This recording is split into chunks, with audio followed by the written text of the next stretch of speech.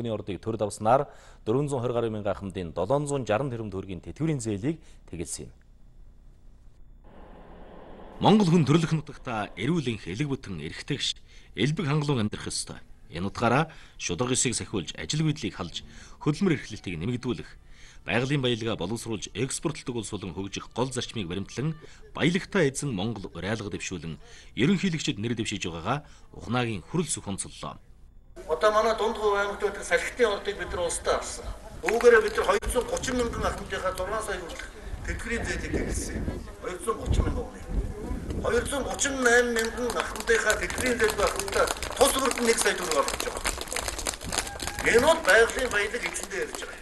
Нэр дэвшигчийн мөрийн хөтөлбөр тусгасан бүсчилсэн хөгжлийг дэмжих, эрчимдсэн малаж ухыг хөгжүүлэх, нутагтаа сайхан амьдрах зорилтууд нь нийслэл хотоос 275 км зайтай оршдог Дундгов аймагт цогцороо хэрэгжих боломжтой.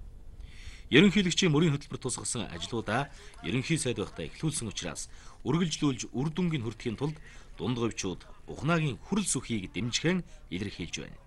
Энэ баялагтай эзэн Монгол гэдэг энэ өөрийнхөө уриалгыг би нэлийн бас өндөр түвшинд эхлүүлсэн гэж боддог. Тэгээ энэ эхлүүлсэн ажлаа бас цаашаа үргэлжлүүлэхийн тулд илүү бас хүчтэй энэ энэ акцийг өрнүүлэхийн тулд Монголын ерөнхийлөгч бас нэр дэвшиж байгаа байх гэж бодож байгаа. Мөрийн хөтөлбөрийг харж байгаа. Хоёрт мэдлэг боловсрал, гуравт би хэл бүтээсэн ажлуудыг нь харж байгаа.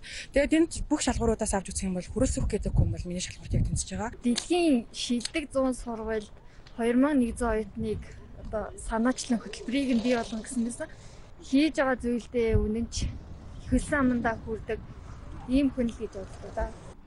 Ерөнхийлөгчийн сонгуульд нэр дэвшиж байгаа одоо хүрэлцэхийг бол хувийн зүгээс бол дэмжиж байгаа. За дэмжиж байгаа хол шалтгаан нь бол яг уу ер нь бол уул уурхай баялаг за тэгээд ер нь бол шудраг өсний тэмцэлт зөрөгтэйгээр дуугарч манлайч гарч ирж байгаа. Монгол улсын ерөнхийлөгч болоод мөрийн хөтөлбөртөө тусгасан зорилтынхоо хүрээнд Дундгов аймагт хэрэгжүүлэх олон ажил байгааг залуус хэлж байна. Мөн Дундгов аймгийн иргэдийн амжиргааны гол их усүрийн нэг нь малаж ухъя. Тиймээс ган зуд, салхишуурга зэрэг байгалийн хүчин зүйлээс хамааралгүйгээр хангалуун амьдрах нөхцөлийг бүрдүүлэх, эрсдэлгүй хөдөө аж ахуйг дэмжиж ажиллах Ухнаагийн хүрэл сүхэд итгэл хүлээлгэнэ гэдгээ Дундгов аймгийн малчид илэрхийлж байна. Ногоон бүсээр зарлагдсан Өмнө Говь аймгийн 14 сумын иргэд нэр дэвшигчийн уулзалтад цахимаар оролцсон нь онцлог байлаа. Өмнө Говь аймаг бол эдийн засгийн хөгжлөөр гадаадын хөрөнгө оруулалтыг татаж чадсанаар ажил хөдлөлийг бууруулсан амжилтаараа улсдаа тэргүүлэх аймаг. Оюу толгой таван толгой тэргүүтэй Монгол улсыг тэжээж байгаа томоохон орд газруудтай Өмнө Говь аймгийнханд баялагтай эзэн Монгол мөрийн хөтөлбөр хамгийн чухал амьдрал ойр тусаж байгааг иргэд хэлж байна. За энэ удаагийн мөрийн хөтөлбөрт одоо миний хамгийн их одоо дэмжиж байгаа сонирхож байгаа зүйл юу вэ гэхлээрэ а зээлийн хөг бууруулнаа гэсэн байгаа тийм нэг оронтой тооноос дээшлүүлэхгүй гэсэн нь маш их таалагдсан. Сум бүрийн төлөөлөлт ч юм уу хороо бүрийн төлөөлөлт нийтдээ 2100 оюутныг дэлхийн топ 100 ихтэй сургууль сургамд ч юм энэ эргээд оюутан залуучуудаа магадгүй цаашдаа тухайн нутаг дэвсгэр орных нь ирээдүйд бодтойгоор нөлөөлж болох ийм зүйл гэж хөвдөө харж байна. Нэр дэвшиг шүрэлцэх ерөнхий сайдаар ажиллахдаа тус тосон бомбын орд харамгтай орд газрыг төрийн хамгаалалтад авсанд өмнө говьчууд талархаж байна. Хариуцлагатай уул уурхай хөгжүүлэх бодлогоо үргэлжлүүлнэ гэдгээч нэр дэвшигч онцоллоо. Үүсээ угаа коксын үйлдвэрээ байгуулъя, цэс айлуулах үйлдвэрээ байгуулъя, алтай айлуулах үйлдвэрээ байгуулъя.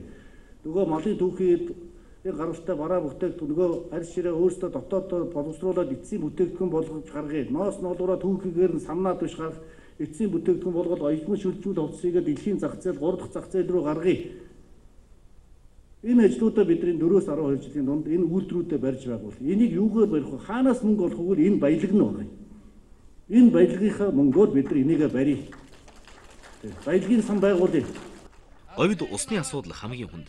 Харин нэр дэвшигч мөрийн хөтөлбөртөө усны нөөцийг нэмэгдүүлэх, уул уурхайгаас эвдэр зүйдсэн нутгийг нөхөн сэргээх асуудалд ач холбогдол өгснийг өмнө говьчууд талархан хүлээн авч ажлыг гацаах биш урагшлуулдаг амлаад өнгөрдөг биш ажил хэрэг болгодог Ухнаагийн хүрэл зүхийг дэмжихэн илэрхийлж байна. Монгол Улсын ерөнхийлөгчийн